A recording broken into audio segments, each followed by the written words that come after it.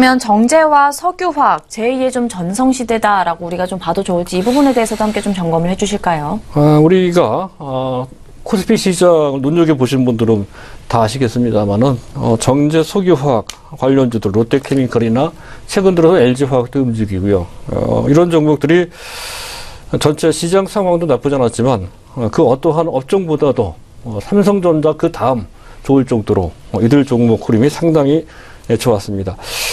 어, 최근에 주요 어, 정제 및 석유화학 제품의 마진 상황이 좋았다는 건데요. 어, 지금 4분기가 사실은 계절적으로 비수기입니다.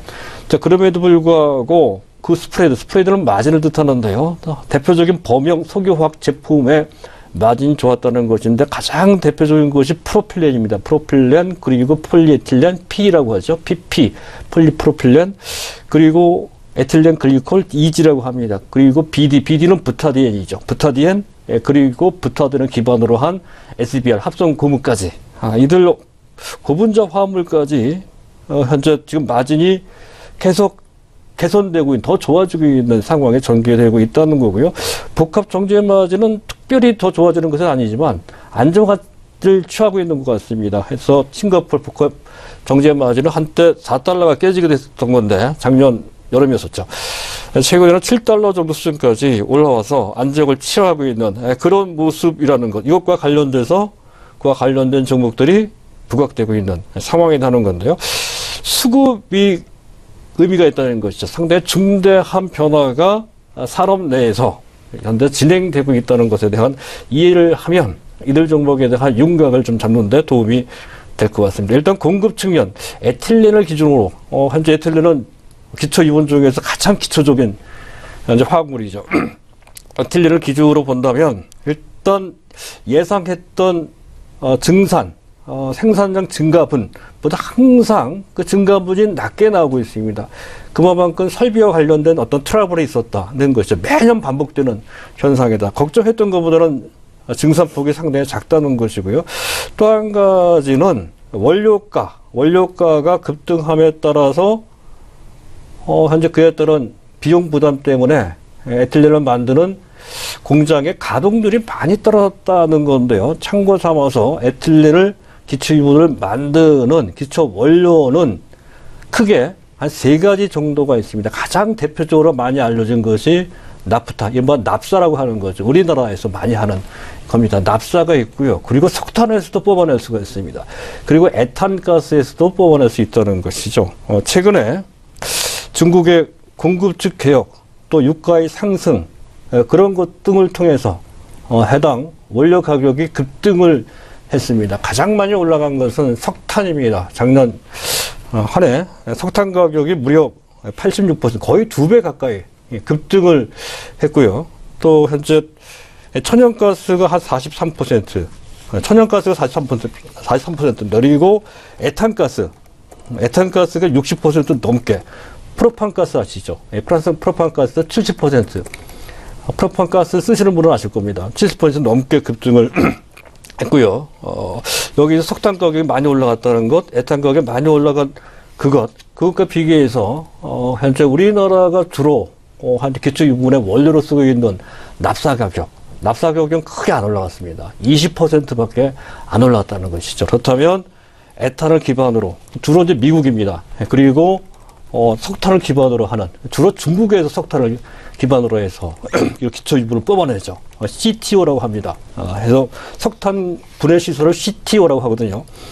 어, 이쪽 그 어, 석탄과 에탄을 기반으로 한 기초 유분을 생산하는 공장이 가동을 많이 줄인 상태, 마진이 예, 그만큼 떨어지기 때문에 예, 그렇다는 것이죠. 그래서 이것 때문에 공급이 생각보다 많이 줄었다는 예, 것입니다. 예, 그리고 어, 납사 가격이 상대적으로 낮기 때문에 납사를 통해서 어, 기초유분 등 석유 제품을 만드는 어, 업체들의 수익은 그렇지 않아도 전체적으로 제품 가격도 좋거든요. 거기다가 원료 가격까지 나쁘지 않으니까 더 마진이 좋아지는 그런 상황이 됐다.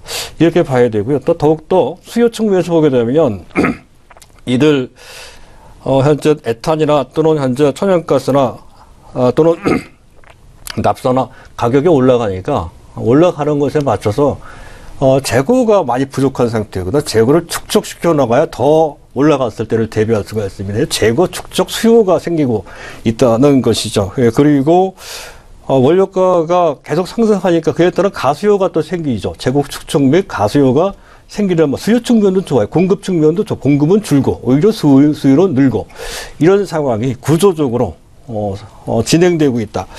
물론 이것이 계속 진행된다는 보장은 없습니다. 하지만 상당 기간 이러한 어, 수급 상황이 우호적인 수급 상황이 진행될 소지가 높다.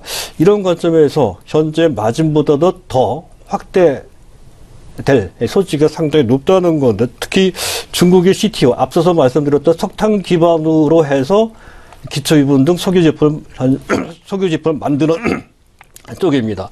그쪽 비중이 높은 제품 가장 대표적인 것이 폴리에틸렌 P입니다. PEPP 예, 그리고 에틸렌 글리콜 그리고 PVC 예, 건축 소재로 많이 쓰이죠. PVC 이런 쪽이고요. 어, 이쪽을 주로 생산하는 우리 업체들이 중요하겠죠. 최근에 LG화학이 중국발 악재가 있음에도 불구하고 올라가는 것은 아, 이런 것과 상당히 밀접한 관련이 있다는 것이죠. LG화학, 또 하나케미칼, 롯데케미칼, 대한유화 같은 종목이고요.